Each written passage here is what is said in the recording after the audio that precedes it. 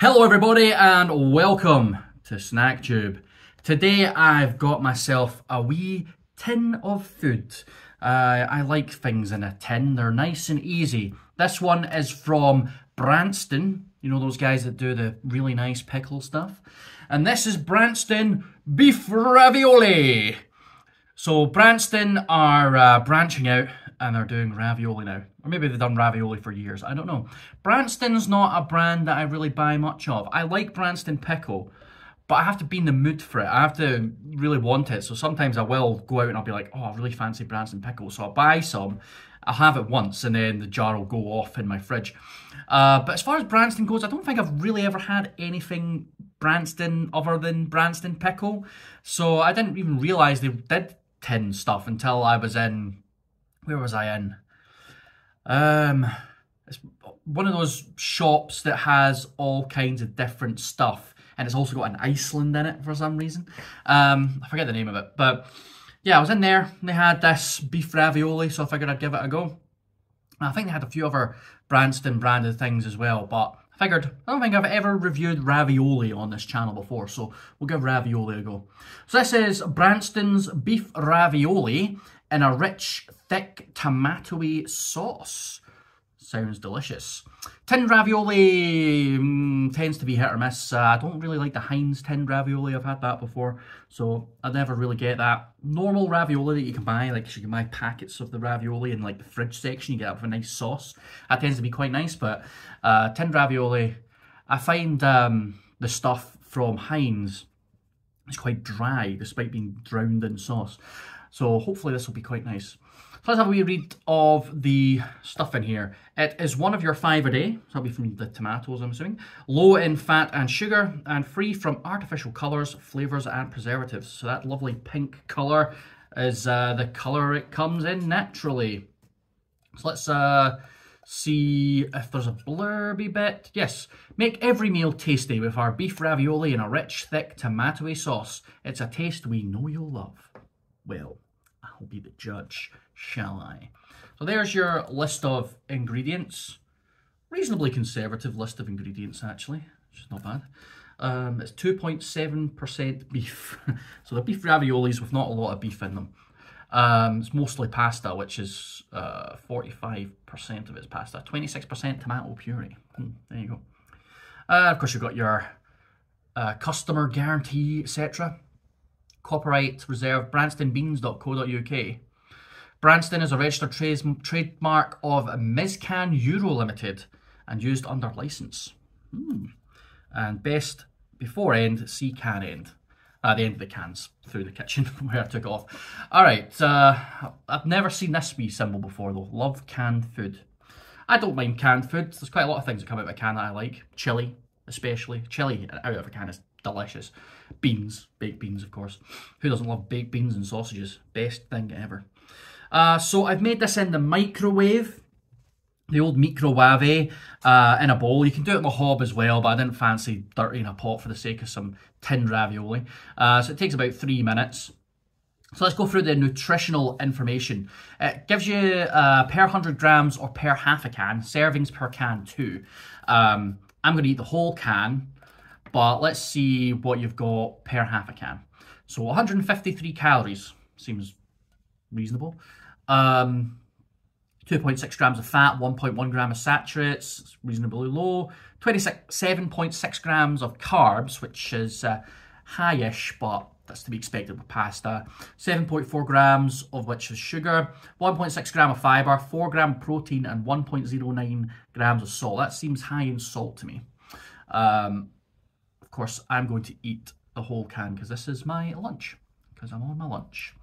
All right, let's uh, have a look at it, shall we? I've got my bowl here. I had a wee plate covering so it didn't splatter all over my microwave. I'm going to need a wee towel to pick this up and show it to you just because it's um, the bowl is quite hot.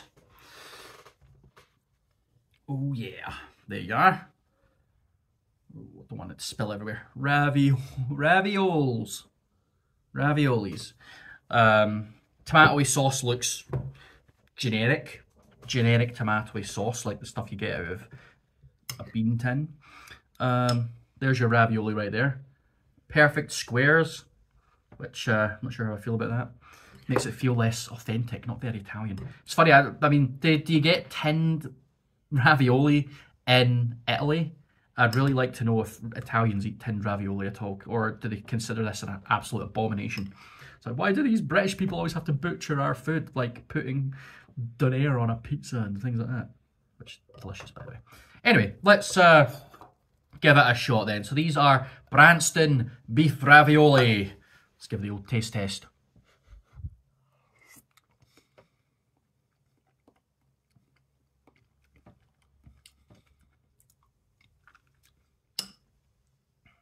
Hmm. Mm-hmm. Have another one. Oh, getting sauce everywhere.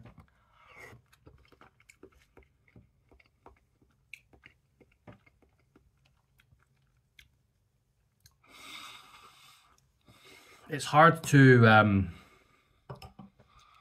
it's hard to break that down um, and taste all the individual bits because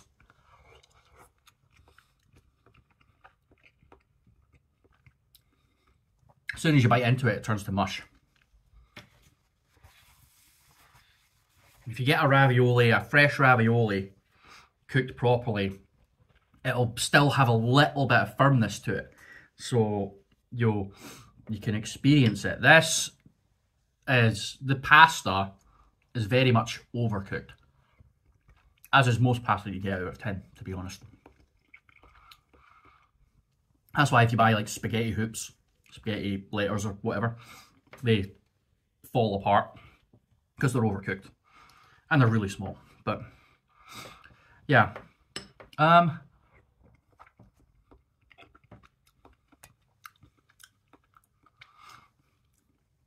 largely inoffensive, I would say.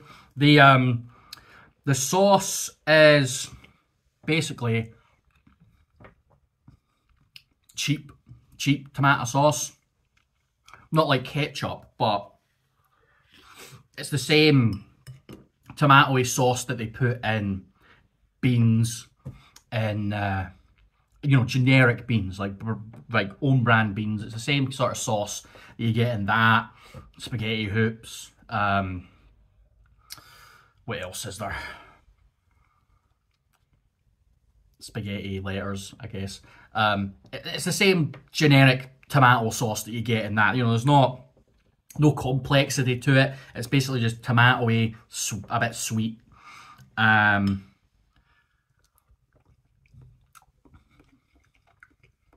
yeah.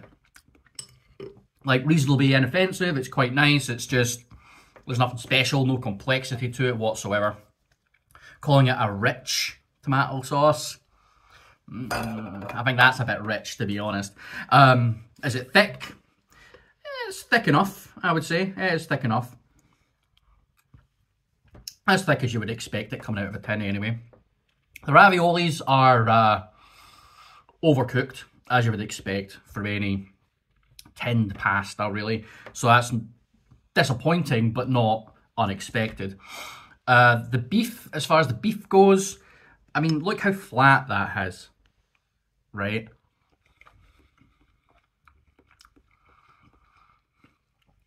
You can barely tell there's any beef in there. Can't really taste the beef, there's no flavour to it. There's not enough of it in there to provide any kind of texture or anything. So, yeah, a bit boring. Um, overall,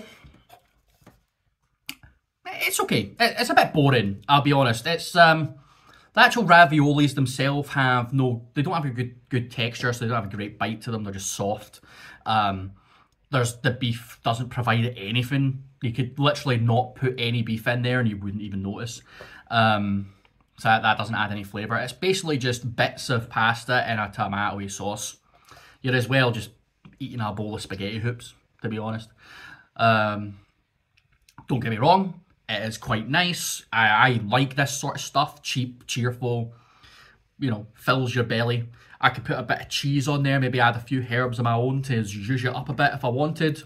I'm not going to because I can't be bothered grating cheese, but yeah, it's uh, it is what it is. It's pretty much what I expected. Uh, so yeah, not really much more to add than that. Well, that'll do. Thanks very much for watching. If you like this review, give it a thumbs up, subscribe, hit the wee bell to get notifications anytime a new video comes out. And of course, let me know, have you tried any our Branston products? I want to know what other Branston stuff there is, because I've seen stuff like Branston A's, Branston A's, Branston mayonnaise. It's like mayonnaise with Branston pickle fruit or something. That, now that sounds like something I've got to try. I'm going to try and find that. But uh, yeah, let me know what's your favourite ravioli. I guess. I don't know. Just leave comments. I like comments. Engage with my channel, please. It's nice. It's nice to talk to you. Uh, but that'll do. And it's been a pleasure. I will catch you all in the next video. I'll see you then. Cheers.